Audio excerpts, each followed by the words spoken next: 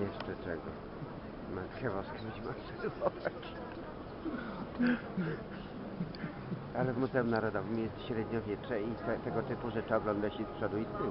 Nie widziałeś o tym? No, Od ściany. A dzisiaj tam są urodziny e, człowieka, jest oprowadzenie za darmo i się nazywa, pamiętam, ale są urodziny.